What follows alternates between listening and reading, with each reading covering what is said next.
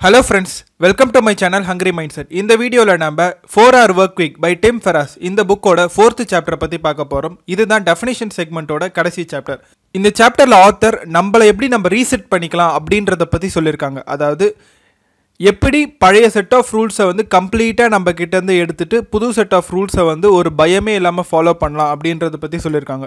Author இந்த சாப்டரை அவரோட story சொல்லி ஆரம்பிக்கிறாங்க. ஆத்தர் வந்து பிரின்ஸ்டன் யூனிவர்சிட்டியில் படித்தாங்க அவரோட சக்ஸஸை பார்த்து அவரோட ப்ரொஃபஸர் வந்து எங்கள் ஸ்டூடெண்ட்டுக்கு வந்து நீங்கள் ஒரு செமினார் மாதிரி கொடுங்க அப்படின்னு கேட்டுக்கிட்டாங்க. ஸோ ஆத்தர் வந்து ஆண்டர்பனர்ஷிப்பை பற்றி ஒரு செமினார் ரெடி பண்ணி அந்த ஸ்டூடெண்ட்ஸுக்கு கொடுக்கலான்னு போகிறாங்க ஆத்தரும் ஒரு ஃபைவ் டு சிக்ஸ் பேட்சஸ் கண்டினியூஸாக பார்க்குறாரு எல்லாருமே வந்து கிளாஸில் இன்ட்ராக்டிவாக இருக்காங்க கிளாஸில் அட்டென்டிவாக இருக்காங்க சொல்கிற விஷயத்த கேட்டுக்கிறாங்க. பட் ரியல் லைஃப்பில் வந்து யாருமே இந்த விஷயத்தை வந்து ஃபாலோவே பண்ண மாட்டுறாங்க ஆத்தர் வந்து இந்த செஷன் ஒரு இன்ட்ராக்டிவ் ஒர்க் ஷாப் மாதிரி ஸ்டார்ட் பண்ணலான்னு ஒரு ஐடியா பண்ணுறாங்க இந்த இன்ட்ராக்ஷனுக்காக அந்த செஷனில் ஆத்தர் ஒரு சேலஞ்ச் வைக்கிறாங்க. அதாவது யார் நான் சொல்கிற ஒரு விஷயத்தை கம்ப்ளீட் பண்ணுறீங்களோ அவங்களுக்கு உலகத்தில் எங்கே வேணால் போயிட்டு வரதுக்கான ரவுண்ட் ட்ரிப் டிக்கெட்டை வந்து நான் ஃப்ரீயாக ப்ரொவைட் பண்ணுறேன் அப்படின்னு சொல்கிறாங்க இதை கேட்டோடனே அறுபது ஸ்டூடெண்ட்ஸ்க்கும் ஒரு எந்தூசியாசம் சொல்லி முடிச்சுட்டு ஆத்தர் என்ன சொல்கிறாருன்னா இன்ட்ரெஸ்டடாக இருக்கவங்க கிளாஸ் முடிச்சுட்டு என்னை வந்து பாருங்கள் அப்படின்னு சொல்லிட்டாரு. அறுபது பேரில் இருபது பேர் வந்து அவரை போய் பார்க்குறாங்க. அந்த இருபது பேருமே ரொம்ப ஈகராக இருக்காங்க. எப்படியாவது நம்ம இந்த விஷயத்த செஞ்சு முடிச்சுட்டு நம்ம வந்து அந்த ப்ரைஸ் அவர்கிட்ட இருந்து வாங்கிக்கணும் அப்படின்னு சொல்லிட்டு. ஆத்தர் அந்த இருபது பேருக்கும் ஓப்பன் சேலஞ்ச் பண்ணுறாங்க அதாவது யார் நான் சொல்கிற மூணு பேரில் ஒருத்தவங்கள காண்டாக்ட் பண்ணி அவங்களோட ரிப்ளை எனக்கு எடுத்துகிட்டு வரீங்களோ அவங்களுக்கு நான் இந்த டிக்கெட்டை ஃப்ரீயாக தருவேன் அப்படின்னு சொல்கிறாங்க அந்த மூணு பேர் யாருன்னு பார்த்தீங்கன்னா ரெண்டு பெரிய கம்பெனியோட சிஇஓஸ் அண்ட் ஒரு எக்ஸ் பிரசிடென்ட் இதை கேட்டோடனே அந்த ஸ்டூடெண்ட்ஸ் எல்லாருக்குமே ஒரு ஷாக் நாங்கள் எப்படி இந்த விஷயத்த செய்ய முடியும்? இந்த விஷயம் வந்து கிட்டத்தட்ட இம்பாசிபிள் அவங்களாம் எவ்வளோ பெரிய ஆள்? நாங்கள் எப்படி அவங்கள காண்டாக்ட் பண்ண முடியும்? அப்படின்ற மாதிரி யோசிக்க ஆரம்பிச்சிட்டாங்க. நிறைய பேர் வந்து நிறைய ரீசன் சொல்ல ஆரம்பிச்சிட்டாங்க. சில பேர் வந்து எனக்கு பேப்பர் டியூ இருக்குன்றாங்க சில பேர் வேலை இருக்குன்றாங்க. நிறைய பேர் ஏதாவது ரீசன் சொல்லி எஸ்கேப் ஆகிட்டே தான் இருக்காங்க. பட் இதுக்கு பின்னாடி இருக்க ஒரே ஒரு உண்மையான ரீசன் பார்த்தீங்கன்னா இந்த விஷயத்த செய்ய முடியாது அவ்வளோதான் இந்த இடத்துல பார்த்தீங்கன்னா அந்த விஷயம் ரொம்ப கஷ்டமாக இருக்குன்னு சொல்லிட்டு யாருமே அந்த விஷயத்துக்கு ட்ரை கூட பண்ணல. பட் ஆத்தரோட நாம்ஸ் படி யாருன்னா ஒருத்தர். அந்த மூணு பேரில் ஒருத்தவங்கள காண்டாக்ட் பண்ணி அதோட நெகட்டிவ் மெயில் எடுத்து வந்து காமிச்சிருந்தா கூட ஆத்தர் வந்து டிக்கெட் கொடுத்துருப்பேன் அப்படின்ற மாதிரி எக்ஸ்பிளைன் பண்ணுறாங்க நெக்ஸ்ட் இயரும் ஆத்தர் வந்து இதே மாதிரி ஒரு ஒர்க் ஷாப்பை கண்டக்ட் பண்ணுறாரு அப்போ என்ன பண்ணுறாருனா இப்போ நடந்த எல்லா விஷயத்தையும் டீட்டெயில்டாக அந்த ஸ்டூடெண்ட்ஸுக்கு கிளாஸுக்கு போகிறதுக்கு முன்னாடி எக்ஸ்பிளைன் பண்ணிடுறாரு. செகண்ட் வருஷம் பார்த்தீங்கன்னா இதே சேலஞ்சை பதினேழு பேர் எடுத்துக்கிறாங்க. அந்த பதினேழு பேரில் ஆறு பேர் வந்து காண்டாக்ட் பண்ணியும் காமிக்கிறாங்க. இதோட ரீசன் பார்த்தீங்கன்னா அந்த செகண்ட் செட் ஆஃப் பீப்புள் வந்து ஸ்மார்ட்டாக இருக்காங்களோ இல்லை ஆத்தர் வந்து அவங்களுக்கு ஈஸியான டாஸ்க் கொடுத்துட்டாங்களோ அப்படின்லாம் கிடையாது. ஃபஸ்ட்டு செட்டு என்ன தப்பு பண்ணாங்களோ அந்த தப்பை வந்து செகண்ட் செட் கிட்ட ஆத்தர் முன்னாடியே சொல்லிட்டாங்க. அதாவது யாருன்னா எனக்கு தப்பான ஆன்சர் எடுத்துன்னு வந்து கொடுத்துருந்தா கூட நான் வந்து அவங்களுக்கு டிக்கெட் கொடுத்துருப்பேன் அப்படின்ற விஷயத்த ஆத்தர் முன்னாடியே சொல்லிட்டாரு. இதை சொன்னதுனால செகண்ட் செட் ஆஃப் பீப்புளுக்கு ஒரு தைரியம் வந்துடுச்சு. நம்ம தப்பு பண்ணாலும் பிரச்சனை இல்லை அப்படின்ற ஒரு தைரியம் வந்து அதனால யாருமே அந்த டாஸ்க்கை பார்த்து பயப்படாம தைரியமா ட்ரை பண்ணாங்க. அப்படி ட்ரை பண்ணதுனால அவங்களால சக்ஸஸும் ஆக முடிஞ்சுது. நெக்ஸ்ட் செக்ஷனில் ஆத்தர் ரொம்பவே இன்ட்ரெஸ்டிங்கான ஒரு விஷயத்த சொல்கிறாங்க doing unrealistic thing is easier than doing realistic அதாவது ஒரு ஈஸியான வேலையை விட ஒரு கஷ்டமான வேலையை நம்மளால் ஈஸியாக செஞ்சிட முடியும் அப்படின்ற மாதிரி சொல்கிறாங்க இதுக்கு ஆத்தர் கொடுக்குற வேலிடேஷன் பார்த்தீங்கன்னா ninety nine percent of the people பார்த்தீங்கன்னா அவங்களோட கோல்ஸை ரொம்ப ரியலிஸ்டிக்காக வச்சுருப்பாங்க. அதாவது அச்சீவ் பண்ணுற தூரத்துலேயே அவங்க கோல்ஸை வச்சுருப்பாங்க. அவங்க கம்ஃபர்ட் ஜோனை விட்டு வெளியே போகாமல் ஈஸியாக அச்சீவ் பண்ணுற மாதிரி அவங்க கோல்ஸை வந்து வச்சுருப்பாங்க. ப்ளஸ் இந்த நைன்டி நைன் பர்சன்ட் பீப்புள் யாருமே டாப் பொசிஷனுக்கு போட்டி போட மாட்டாங்க. அவங்க ஒரு நல்ல பொசிஷனுக்கு போட்டி போடுவாங்க அவ்வளவுதான். அவங்களுக்கு அவங்க திறமை மேலே நம்பிக்கை இருக்குது அதனால தான் அவ்வளோ பெரிய கனவு காண்றாங்க. அந்த கனவை அச்சீவ் பண்ணியும் சாதிக்கிறாங்க. இதை ஸ்டீவ் ஜாப்ஸ் அழகாக கோட் பண்ணியிருப்பாங்க. People who are crazy enough to think they can change the world are the ones who do யார் ஒருத்தவங்க அன்ரியலிஸ்டிக்கான ஒரு கோலை வைக்கிறாங்களோ அவங்க தான் அன்ரியலிஸ்டிக்கான ரிசல்ட்டை வந்து அச்சீவ் பண்ணுறாங்க அப்படின்ற மாதிரி சொல்கிறாங்க இது ஆத்தர் பாயிண்ட் ஆஃப் வியூவில் சொல்லணும்னா எல்லாருக்குமே அக்சஸ் இருக்கிற ஒரு விஷயத்துக்கு வந்து காம்படிஷன் ரொம்ப அதிகம். டாப்பில் வந்து காம்படிஷன் கம்மி. அதனால் நம்ம கீழே ட்ரை பண்ணி அதிகமான காம்படிஷனில் சக்ஸஸ் ஆகிறத விட டாப் பொசிஷனுக்கு ஏம் பண்ணி கம்மியான காம்படிஷனில் ஈஸியாக சக்ஸஸ் ஆகிடலாம் அப்படின்ற மாதிரி சொல்கிறாங்க நம்ம செட் பண்ணியிருக்க கோல் வந்து நம்மளோட கம்ஃபர்ட் ஜோன்னு தள்ளி இருக்கணும். அப்படி தள்ளி இருந்தால் மட்டும்தான் அந்த கோலை அச்சீவ் பண்ணுறதுக்காக நம்ம நிறைய எஃபர்ட் போட்டு நிறைய வளருவோம். நம்மளால் முடிஞ்ச விஷயங்களையே நம்ம கோலாக செட் பண்ணிவிட்டு அதை அச்சீவ் பண்ணிட்டு போகிறதுல எந்த யூஸும் கிடையாது. நம்மளால் முடியாது அப்படின்னு சொல்லிட்டு நம்ம ஒரு விஷயத்தை பற்றி நினச்சிருப்போம். அந்த விஷயத்தை நம்ம அச்சீவ் பண்ணும் போது தான் நம்மளோட செல்ஃப் கான்ஃபிடன்ஸ் பூஸ்ட் ஆகும். ஆத்தர் இந்த சாப்டர் எப்படி கன்க்ளூட் பண்ணுறாங்க அப்படின்னா ஒரு அன்ரியலிஸ்டிக் கோலை நோக்கி போகும்போது தான் நீங்கள் ரொம்ப எந்தூசியாஸ்டிக்காக இருப்பீங்க ரொம்ப பவர்ஃபுல்லாக இருப்பீங்க. இதை நம்ம அட்ரனல் இன்ஃபியூஷன் அப்படின்னு கூட சொல்லலாம். இந்த கோலை நீங்கள் அச்சீவ் பண்ணுறது மூலமாக உங்களோட செல்ஃப் கான்ஃபிடன்ஸ் நினச்சி பார்க்க முடியாத அளவுக்கு பூஸ்ட் ஆகும். நெக்ஸ்ட் செக்ஷனில் ஆத்தர் நம்மளுக்கு என்ன வேணும் அப்படின்றத நம்மளை கிளியராக டிஃபைன் பண்ண சொல்கிறாங்க இந்த கொஷினை நம்ம கிட்ட நிறைய பேர் கேட்டிருப்பாங்க. உனக்கு என்ன வேணும்? லைஃப்பில் உனக்கு என்ன கோல் இருக்குது அப்படின்னு சொல்லிட்டு. இதில் நிறைய பேருக்கு அவங்களுக்கு என்ன வேணும் அப்படின்றதே அவங்களுக்கு தெரியாது. அவங்க ஒரு கோலை ஃபிக்ஸ் பண்ணி அந்த கோலை நோக்கிட்டு ஓடிட்டு இருப்பாங்க. ஏன் ஓடுறாங்க அப்படின்றது அவங்களுக்கு தெரியாது. சில பேர்கிட்ட உங்களுக்கு என்ன வேணும்னு கேட்டால் அவங்க வந்து ஒரு லாங் டேர்ம் கோலை வந்து சொல்ல ஆரம்பிச்சிருவாங்க. ஆத்தர் வந்து இந்த கொஷினே தப்புன்னு சொல்கிறாங்க ஏன்னா நம்மளுக்கு என்ன வேணும் அப்படின்றத நம்ம ஒரு வார்த்தையில் வந்து டிஃபைன் பண்ண முடியாது. இது வரைக்கும் நம்ம பார்த்ததில் நம்ம கோல்ஸ் வந்து நம்ம அப்சல்யூட்டாக மட்டும்தான் சொல்லியிருப்போம். ரிலேட்டிவாக சொல்லியிருக்க மாட்டோம். ஏன்னா நம்ம சொசைட்டி நம்மளுக்கு அப்படி சொல்லி கொடுத்துருக்காங்க. நம்மளோட கோல்ஸை நம்ம ரிலேட்டிவாக சொல்லணும்னா எனக்கு இந்த டைம்குள்ளே இது வேணும். அதாவது நிறைய பேர் பார்த்தீங்கன்னா உங்களுக்கு என்ன வேணும் உங்கள் வாழ்க்கையோட பர்பஸ் என்ன பேஷன் என்ன அப்படின்னு கேட்டிங்கன்னா நிறைய பேர் வந்து சந்தோஷத்தை பாயிண்ட் பண்ணுவாங்க. அதாவது நான் வாழ்க்கையில் சந்தோஷமாக இருக்கணும். அதுக்கு நான் என்னெல்லாம் செய்யணுமோ எல்லாத்தையும் செய்வேன் அப்படின்னு சொல்லுவாங்க. இதுவும் ரொம்பவே இம்ப்ரிசைஸான ஒரு ஆன்சர் தான். ஏன்னா நம்மளுக்கு சந்தோஷம் தான் வேணும்னா நம்மளால் இப்பயே அந்த சந்தோஷத்தை அனுபவிக்க முடியும். இதுக்கு நம்ம பெருசாலாம் யோசிக்க வேணாம். நம்ம சின்ன வயசில் இருக்கும்போது நம்ம எல்லாருமே வந்து சந்தோஷமாக தான் இருந்திருப்போம். அந்த டைமில் நம்மக்கிட்ட பணம் கிடையாது நம்மக்கிட்ட கமிட்மெண்ட் கிடையாது எதுவுமே கிடையாது. நம்ம நம்மளுக்கு பிடிச்சதை செஞ்சுட்டு நம்ம சந்தோஷமாக இருந்திருப்போம். இப்போயும் நம்ம அதே விஷயத்தை தான் தேடிட்டு இருக்கோம். ஆனால் நம்ம வேற வேறு பேரில் அந்த விஷயத்தை தேடிட்டு இருக்கோம். நம்ம தேடிட்டு இருக்க விஷயம் பார்த்தீங்கன்னா மணி கிடையாது ஹாப்பினஸ் கிடையாது ஆர் வேற எந்த ஒரு ஃபேன்சி கோல்ஸும் கிடையாது. நம்ம தேடிட்டு இருக்க விஷயம் எக்ஸைட்மெண்ட் அதாவது எந்த ஒரு விஷயம் நம்மளை எக்ஸைட் பண்ணுதோ அந்த விஷயத்தை செய்கிறதுக்கு நம்ம ரொம்ப ஆர்வத்தோடு இருப்போம். இன்னும் சிம்பிளாக சொல்லணும்னா எந்த ஒரு விஷயம் செய்யும் போது நம்ம டைம் போகிறதே மறக்கிறோமோ அந்த விஷயம் தான் நம்மளை எக்ஸைட் பண்ணுது அப்படின்னு அர்த்தம். ஸோ நம்ம கேட்க வேண்டிய கொஷின்ஸ் பார்த்தீங்கன்னா உங்களுக்கு என்ன வேணும்? எந்த விஷயம் உங்களுக்கு பிடிக்கும்? எது உங்களோட கோல் அப்படின்னு நம்ம கேட்கக்கூடாது. எந்த விஷயம் உங்களை எக்ஸைட் பண்ணும்? அப்படின்னு தான் நம்ம அந்த கொஷினே கேட்கணும். இந்த கான்செப்டை பற்றி நீங்கள் கொஞ்சம் யோசிச்சு பாருங்கள் இதை பற்றி நீங்கள் என்ன நினைக்கிறீங்க? அப்படின்றத கமெண்ட்டில் சொல்லுங்கள் ஏன்னா இந்த விஷயத்தை நீங்கள் ஒத்துக்கிட்டால் மட்டும்தான் நம்மளால் அடுத்த சாப்டர் ஆர் அடுத்த விஷயங்களை வந்து ஈஸியாக ஃபாலோ பண்ண முடியும். நெக்ஸ்ட் செக்ஷனில் ஆத்தர் அட்வென்ச்சர் டெஃபிசிட் டிஸார்டர் இதை பற்றி சொல்லியிருக்காங்க அதாவது எப்போ ஒருத்தவங்க அவங்க எக்ஸைட்மெண்ட்டை தொலைக்கிறாங்க அப்படின்றத பற்றி சொல்லியிருக்காங்க நம்ம எல்லாருக்குமே தெரியும். நம்ம காலேஜ் முடிக்கிற வரைக்கும் நம்ம வந்து நினச்சிட்டு இருப்போம். நம்ம லைஃப் வந்து காலேஜ் முடிச்சுட்டா இப்படி இருக்கும் அப்படின்னு சொல்லிட்டு. அந்த ஸ்டேஜை முடிச்சுட்டு கொஞ்ச நாள் கழிச்சு தான் நம்மளுக்கு தெரியும். நம்மளோட இமேஜினேஷன் வந்து தப்பு. நம்மளோட ரியாலிட்டி வந்து அப்படி இருக்காதுன்னு சொல்லிட்டு. ஃபார் எக்ஸாம்பிள் ஆத்தர் வந்து அவரோட பிஸ்னஸோட ஸ்டார்டிங் ஸ்டேஜில் இதே தான் நினச்சாரு. நம்ம பிஸ்னஸ் ஆரம்பித்தா நம்ம லைஃப் வந்து மாறிடும் அப்படின்னு சொல்லிட்டு. பட் பிஸ்னஸ் ஆரம்பித்ததுக்கப்புறமா அவர் லைஃப் வந்து மாறவே இல்லை. இன்னும் சொல்லணும்னா அவர் லைஃப் வந்து ஒஸ்ட்டாக தான் போச்சு.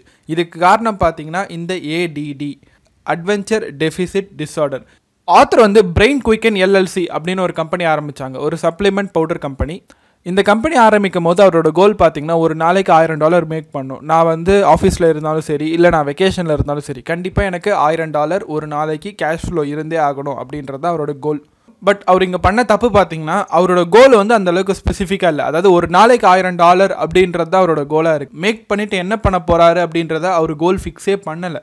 அதனால் என்ன ஆச்சுன்னா அவர் ஃபுல் அண்ட் ஃபுல் அவர் ஆஃபீஸில் உட்காந்து இந்த ஆயிரம் டாலர் கோலை ரீச் பண்ணுறதுக்கே வந்து ஒர்க் பண்ணிட்டு ஒரு நாளைக்கு ஆயிரம் டாலர் அப்படின்றது சாதாரண கோல் கிடையாது. அதுவும் ஆத்தர் இந்த புக்கை எழுதின டைமில் ரொம்பவே கஷ்டமான கோல் அதனால் அவரோட கோலை தாண்டி அவர் எந்த விஷயமே அவர் யோசிக்கல. அந்த கோலை நோக்கி அவர் வந்து ஓடிக்கிட்டு இருக்காரு. அப்படியே அவர் அந்த கோலை அச்சீவ் பண்ணாலும் அடுத்தது என்ன பண்ண போகிறோம் அப்படின்றது அவருக்கு தெரியல. ஏன்னா அவரோட கோல் பார்த்தீங்கன்னா ஆயிரம் டாலர் மேக் பண்ணுறதுல மட்டும்தான் இருக்குது பண்ணிட்டு என்ன பண்ண போகிறாருன்றது கோலில் இல்லை. இதே விஷயம் நம்ம ஜாப்லேயும் செய்வோம். ஃபார் எக்ஸாம்பிள் ஜாபோட ஸ்டார்டிங் ஸ்டேஜில் இப்போ நம்மளுக்கு ஒரு வருஷம் ஒர்க் பண்ணால் இன்க்ரிமெண்ட் வருது அப்படின்னா அந்த இன்க்ரிமெண்ட்டையோ ஆர் அந்த பே ரைஸையோ நம்ம நோக்கி ஒர்க் பண்ணிகிட்டே இருப்போம். பட் அந்த இன்க்ரிமெண்ட்டை வச்சு நம்ம என்ன செய்ய போகிறோம் அப்படிப்பட்ட ஒரு விஷயமே நம்ம டிஃபைன் பண்ணியிருக்க மாட்டோம். ஸோ அந்த இன்க்ரிமெண்ட் கிடச்சதுக்கு அப்புறமா நம்மளுக்கு அடுத்தது என்ன செய்யறதுன்னு தெரியாமல் அந்த இன்க்ரிமெண்ட்டை நோக்கி ஓட ஆரம்பிச்சிரும். இதுதான் அட்வென்ச்சர் டெஃபிசிட் டிஸார்டர் இந்த மாதிரி ஹாஃப் டிஃபைன்டு கோலை அச்சீவ் பண்ணுற பர்சனை வந்து author fat man in BMW அப்படின்னு சொல்லிட்டு டேர்ம் பண்ணுறாங்க அதாவது அவங்க பணம் சம்பாரிச்சிட்டே இருப்பாங்க. ஆனால் ஏன் சம்பாதிக்கிறாங்க அப்படின்றது அவங்களுக்கே தெரியாது.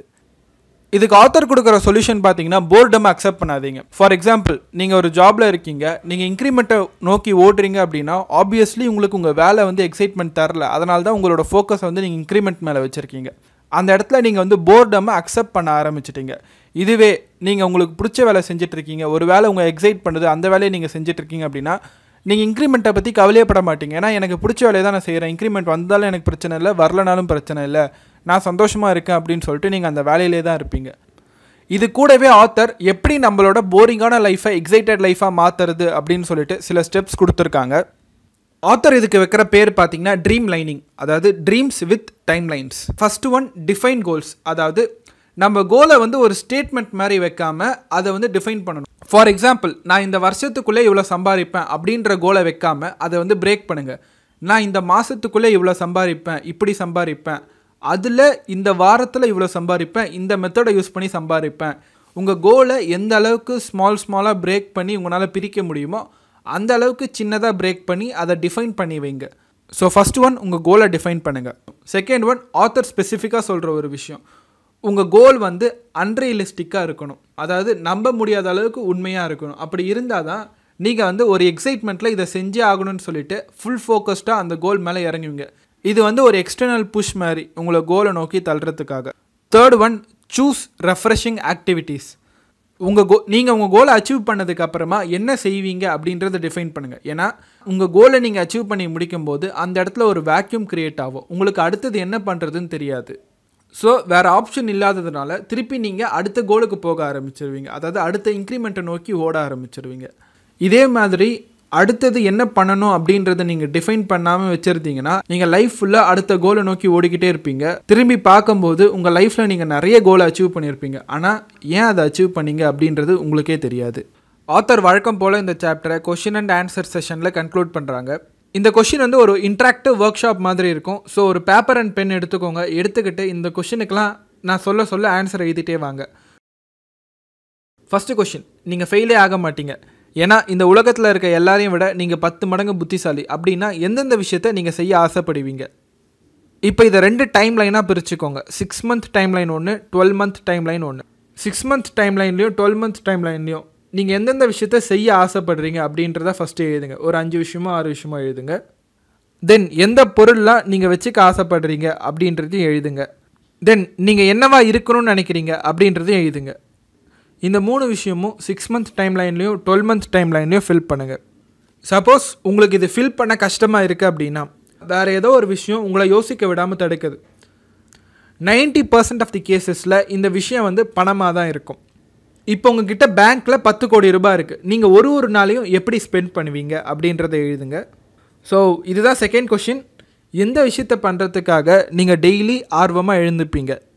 ஸோ நல்லா யோசித்து இந்த ரெண்டு கொஷினுக்கும் ஆன்சர் எழுதுங்க. Third question third question write your finish line first கொஷினுக்கு வந்து நீங்கள் இதை செய்யணும் இப்படி இருக்கணும் அப்படின்னு சொல்லிட்டு சில ஆன்சர்ஸ் எழுதியிருப்பீங்க. அந்த ஆன்சர்ஸுக்கு எந்த விஷயத்த நீங்கள் செஞ்சு முடிச்சிங்கன்னா இந்த கோலை கம்ப்ளீட் பண்ணிட்டீங்கன்னு எடுத்துக்கலாம் அப்படின்னு சொல்லிட்டு எழுதுங்க. அதாவது உங்கள் ஃபினிஷ் லைனை டிஃபைன் பண்ணுங்கள் ஃபார் எக்ஸாம்பிள் ஃபஸ்ட்டு கொஷினில் நீங்கள் சமையல் கற்றுக்கணும் அப்படின்னு எழுதியிருக்கீங்கன்னா உங்களோட ஃபினிஷ் லைன் எப்படி இருக்கும்னா ஒரு வாரத்துக்கு டின்னர் நான் மேக் பண்ணிட்டேன் அப்படின்னா இந்த கோலை நான் அச்சீவ் பண்ணிட்டேன் அப்படின்ற மாதிரி இருக்கணும். உங்கள் கோலுக்கு நீங்கள் ஃபினிஷ் லைனை டிஃபைன் பண்ணுங்கள் அப்படி நீங்கள் டிஃபைன் பண்ணலன்னா நீங்கள் பர்ஃபெக்ஷன் சொல்லிட்டு நீங்கள் ஒரே கோலில் நிறைய நேரம் ஸ்பெண்ட் பண்ணிட்டு இருப்பீங்க. ஃபோர்த்து கொஷின் நீங்கள் எழுதி வச்சிருக்க எல்லா கோலில் இருந்தோ உங்களை ரொம்ப எக்ஸைட் பண்ணுற ஒரு நாலு கோலை செலக்ட் பண்ணுங்கள் ஆர் ஹைலைட் பண்ணுங்கள் ஃபிஃப்த்து கொஷின் கேல்குலேட் டிஎம்ஐ அதாவது டார்கெட் மந்த்லி இன்கம் இந்த நாலு கோலை நீங்கள் அச்சீவ் பண்ணுறதுக்கு உங்களுக்கு எவ்வளவு இன்கம் தேவைப்படுது? இதில் நோட் பண்ண வேண்டிய ரொம்ப முக்கியமான விஷயம் சில கோலை அச்சீவ் பண்ணுறதுக்கு தான் நம்மளுக்கு இன்கம் தேவை. சில கோலுக்கு நம்மளோட டைமே போதும். ஃபார் எக்ஸாம்பிள் நான் நல்ல குக் ஆகணும் அப்படின்னு ஒரு கோல் வச்சுருக்கேன்னா இதை நம்ம ரெண்டு விதமாக கற்றுக்கலாம் ஒரு குக்கிங் கிளாஸ் போயிட்டு பணம் ஸ்பெண்ட் பண்ணி குக்கிங்கை ஈஸியாக கற்றுக்கலாம் ஆர் ஸோ நம்ம வீட்லேயே யார்கிட்டயாவது நல்லா குக்கிங் குக்கிங் தெரிஞ்சவங்ககிட்ட நம்ம டைமை மட்டும் ஸ்பெண்ட் பண்ணியே கற்றுக்கலாம் ஸோ இதோட சாய்ஸ் பார்த்தீங்கன்னா உங்களோட தான் டைமை ஸ்பெண்ட் பண்ணி கற்றுக்க போகிறீங்களா பணத்தை ஸ்பெண்ட் பண்ணி கற்றுக்க போகிறீங்களா இப்போ நீங்கள் டைமை சூஸ் பண்ணுறீங்க அப்படின்னா உங்கள் எக்ஸ்பென்ஸ் வந்து ஜீ ஜீரோ இருக்கும். ஆர் நீங்கள் பணம் ஸ்பெண்ட் பண்ணி கற்றுக்க போகிறீங்க அப்படின்னா உங்களோட எக்ஸ்பென்ஸ் வந்து அந்த குக்கிங் கிளாஸோட ஃபீஸ் வந்து உங்களோட எக்ஸ்பென்ஸ் இருக்கும்.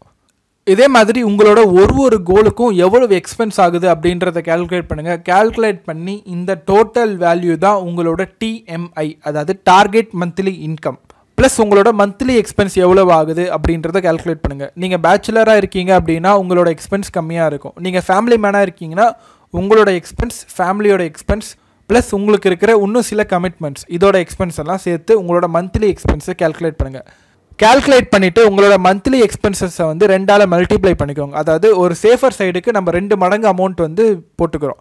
ஸோ இது வரைக்கும் வந்த எல்லா எக்ஸ்பென்சஸுமே ஆட் பண்ணுங்கள் அதாவது உங்கள் கோலை நீங்கள் அச்சீவ் பண்ணணும்னா அதுக்கு கொஞ்சம் செலவாச்சுன்னு சொல்லிட்டு ஃபஸ்ட்டு ஒன்று போட்டு வச்சுருந்தோம். அது ப்ளஸ் உங்களோட மல்டிப்ளை பண்ணப்பட்ட மந்த்லி எக்ஸ்பென்ஸ் இது ரெண்டுத்தையும் ஆட் பண்ணுங்கள் ஆட் பண்ணிவிட்டு அதை தேர்ட்டியால் டிவைட் பண்ணிங்கன்னா அதுதான் உங்களோட டார்கெட் டெய்லி இன்கம் ஒரு நாளைக்கு நீங்கள் சம்பாதிக்க வேண்டிய டார்கெட் அதுதான். ஏற்கனவே சொன்ன மாதிரி தான் இந்த புக்கு வந்து பணம் சம்பாதிக்கிறத பற்றி கிடையாது. பணம் சம்பாரிச்சிட்டு எப்படி சந்தோஷமாக இருக்கிறது. ஸோ இந்த டார்கெட் டெய்லி இன்கம்மை நீங்கள் அச்சீவ் பண்ணீங்க அப்படின்னா அதை வச்சுட்டு உங்களால் உங்களுக்கு பிடிச்ச விஷயத்த செய்ய முடியும். மோஸ்ட் ஆஃப் தி கேசஸில் இந்த அமௌண்ட் வந்து கொஞ்சம் பிரம்மாண்டமாக இருக்கும். அந்த அமௌண்ட்டை பார்த்து பயப்படாதீங்க. வரப்போகிற சாப்டரில் அதை எப்படி ஈஸியாக அச்சீவ் பண்ணலாம் அப்படின்றத நம்ம பார்ப்போம். ஸோ இதுதான் அந்த ஆறு கொஷின்ஸ் அந்த ஆறு கொஷின்ஸ்க்கும் ஆன்சர் எழுதுங்க. அனலைஸ் பண்ணி பாருங்கள் சப்போஸ் இந்த ஸ்டெப்ஸ்லையோ ஆர் கண்டென்ட்லேயோ ஏதாவது டவுட் இருக்குது அப்படின்னா கீழே கமெண்ட்டில் சொல்லுங்கள் நான் முடிஞ்ச அளவுக்கு கிளாரிஃபை பண்ண ட்ரை பண்ணுறேன் நீங்கள் இந்த புக்கை வாங்கணும்னு நினச்சிங்கன்னா டெஸ்கிரிப்ஷனில் இருக்க லிங்கை யூஸ் பண்ணி வாங்கிக்கலாம். இந்த புக்கு வந்து இங்கிலீஷில் மட்டும்தான் அவைலபிளாக இருக்குது தமிழ் அவைலபிளாக இல்லை. Thank you thank you for your time have a great day இந்த சேனல் உங்களுக்கு யூஸ்ஃபுல்லாக இருக்குன்னு நினச்சிங்கன்னா சப்ஸ்கிரைப் பண்ணிக்கோங்க. மற்ற வீடியோஸை நீங்கள் கிளிக் பண்ணி பார்த்துக்கலாம்.